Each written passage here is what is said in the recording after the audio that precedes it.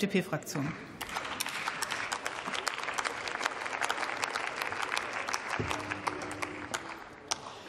Sehr geehrte Frau Präsidentin, verehrte Kolleginnen und Kollegen, meine Damen und Herren! Wenn man den Titel Elf-Punkte-Plan zum Schutz der Grenzen liest, dann denkt man, jetzt kommt ein detaillierter Masterplan, ein systematisches Gesamtkonzept zur Aufbereitung des, des Problems. Und wenn man dann den Antrag der AfD liest, dann ist man schon erstaunt, wie, wie, wie dünn doch diese elf Punkte am Ende ausfallen. Ein Punkt heißt, das Parlament soll früher unterrichtet werden. Ein anderer Punkt heißt, der Bundeskanzler soll das Thema zur Chefsache machen, also eher Plattitüden. Da wird mehr Geld, mehr Personal für die Bundespolizei gefordert. Das Thema finden Sie so toll, dass Sie den Punkt gleich zweimal bringen, als wäre das zum ersten Mal äh, erwähnt worden, dieses Thema. Und Sie sprechen davon, dass man in Unterkünften vom Geldleistungs- zum Sachleistungsprinzip übergehen solle, als hätte das was mit Grenzschutz zu tun. Also alles in allem doch ein reichlich konfuses und, wie ich finde, auch sehr oberflächliches Papier.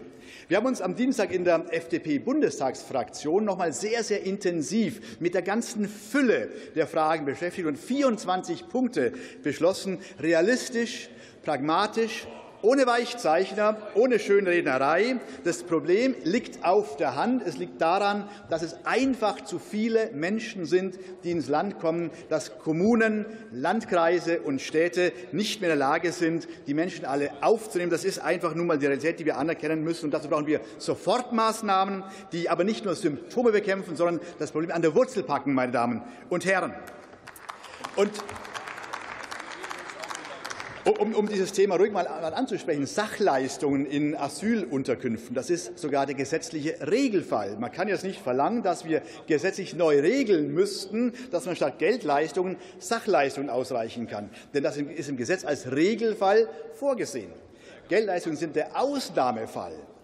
Dass die Kommunen die Sachleistungen als aufwendiger, komplizierter empfinden, weil man eine, eine Lagerlogistik vorhalten muss, um Bekleidung, Lebensmittel, Hygieneartikel zu bevorraten und zu sortieren und auszureichen.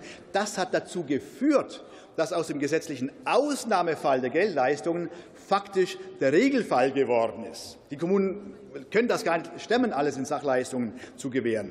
Weshalb wir jetzt dazu übergehen wollen, die Kommunen zu ermutigen, zu ertüchtigen, mit Bezahlkarten einen Ersatz für Geldleistungen zu finden. Denn in der Tat ist es so, dass Geldleistungen einen falschen Anreiz setzen können, zu glauben, bei uns würde man mit Geld äh, überhäuft. Davon müssen wir in der Tat wegkommen. Das ist ein wichtiger Punkt. Und deswegen wollen wir, dass Bezahlkarten eingesetzt werden, die auch beschränkt werden können, von denen aus keine Auslandsüberweisungen erfolgen können und die nur eingesetzt werden können, um lokal Güter des täglichen Bedarfs zu kaufen.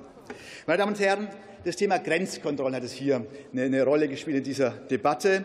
Was wir doch brauchen, ist eine intelligente Lösung, die einerseits nicht den Pendlerverkehr, den Warenverkehr, den Reiseverkehr unnötig beeinträchtigt, aber doch die Schleuserkriminalität unterbindet und, bekämpft. Und dazu ist, wie ich finde, diese Idee der flexiblen Grenzkontrollen genau das richtige Instrument, weil eine stationäre Grenzkontrolle natürlich dazu führt, dass sich Schleuser gegenseitig warnen.